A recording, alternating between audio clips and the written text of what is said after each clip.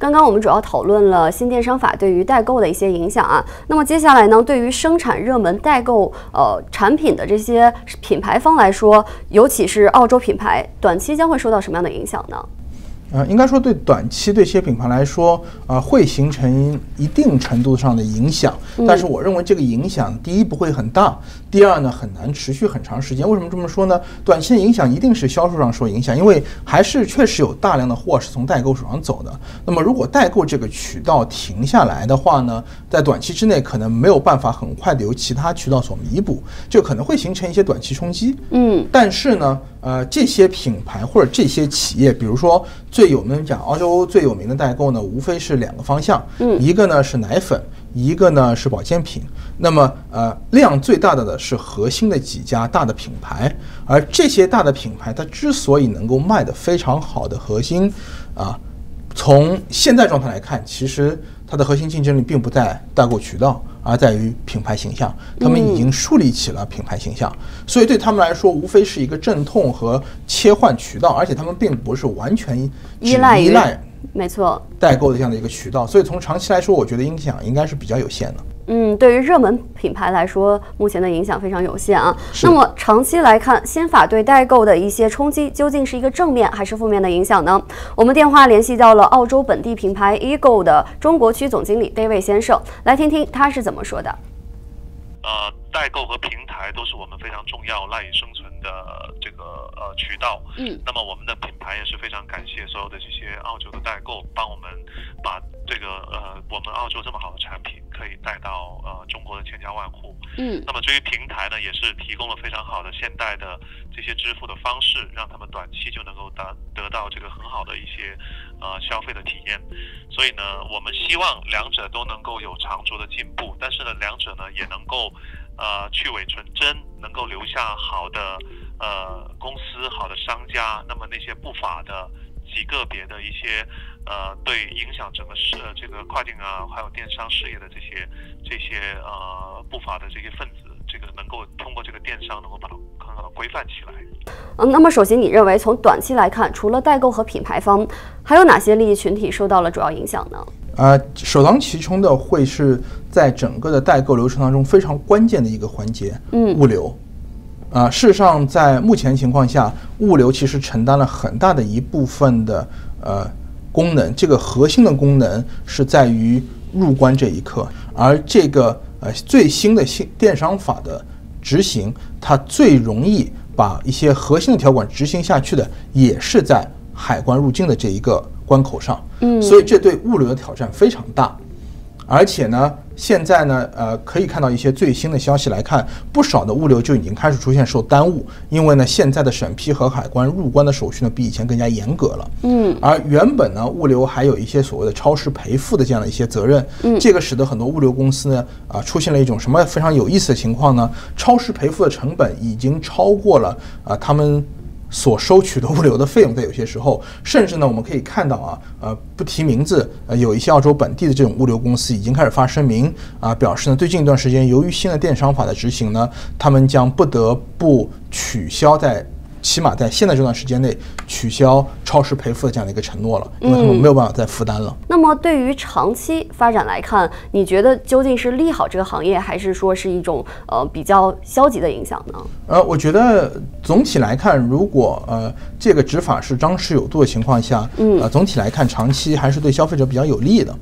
但是呢，必然会有一些人受到非常严重的冲击，甚至呢整个的行业可以说会因为这个法案的。出台啊，重新洗盘。嗯，好，谢谢首席。那么接下来呢，我们将要讨论在新电商法的环境下，海外代购的未来之路将会怎么走。那么首席，你觉得这个新法对代购冲击之后，还有没有一些未来的一些新契机呢？呃，如果说契机的话，更多的是一个行业的整合。事实上，在两三年前我们开始聊代购呃或者电商这个行业的时候，就说过啊，代购和电商呢弥补了一个市场上缺损的环节，确实呢呃做到了更好的一些货物的流通，能够将一些呃中国市场呃急需的一些消费品。啊，以更快的速度、更有效的方式呢，啊，从海外啊进口到中国，满足了呃中国市场这个需求。这其实是一个从呃经济学角度来讲是一个非常正确的做法。嗯，但是呢，在这个过程当中呢，因为这是一个新的领域，原本是没有太多监管的，所以呢，大家都是野蛮生长啊，自然生长啊，丛林法则。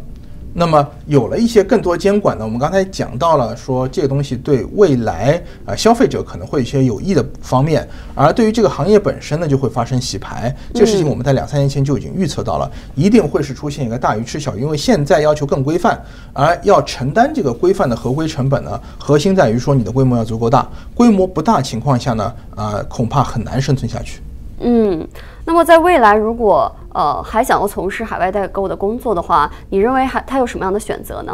呃，留给大家的选项非常的有限。如果确实还是要做代购的话呢，你不得不考虑呃根据法规要求啊去中国注册这样一个公司。嗯啊，这是其一。其二呢，如果说你的你的呃业务规模不足以支撑一个公司运营的话呢，你可能不得不考虑挂靠一个公司或者几呃三四家组合在一起变成一个公司，或者你的业务被别人吃掉，或者你变成一个被别人帮别人打工的一一个大的公司的一部分的这个呃代购业务的这个从事者或者从业人员啊，这是一个呃很必然的这样的一个过程，这就是一个呃行业重新整合。逐渐有一些大型的企业出现，而一些呃特别小型的可能会逐渐消失。可以看得出，这个新电商法对于代购来说是一种优胜劣汰的机会啊。那么，首先，你认为从行业的发展来看，嗯，新电商法将会对中国和澳洲呃来说有什么样的就是机会呢？呃，我觉得这个新电商法的推出，呃，可能来说在呃中国方向上，那么可能会消灭很多非常小型的直接的代购，然后呢，呃，一定程度上会把一部分的市场营销和渠道的业务呢带回到中国，嗯，那么某种程度上呢，会在这个方向上呢，或者在这一个产业链的这个部分呢，产生更多就业或者更多机会。这是一个，那么另外一方面呢，从呃，如果我们讲澳洲或者从呃货物的呃代购商品的呃原发地来看的话呢，可能呢他们可以呃减少和非常多家不同的代购啊走渠道或者走不同的代购跟他们进行商讨的这样的一个非常耗时耗力耗金钱的过程，因为我们说这个行业如果进行整合之后，可能最后的呃比较大的这个代购呢，可能就这么三五家，不超过十家。那么对于这些品牌商来说，他们可能反而有呃